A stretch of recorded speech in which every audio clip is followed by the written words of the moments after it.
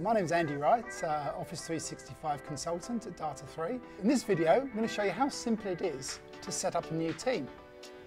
If you've got the rights, you just hit Create a Team here, and you can either create a team from a previous team, or we're going to start from uh, scratch.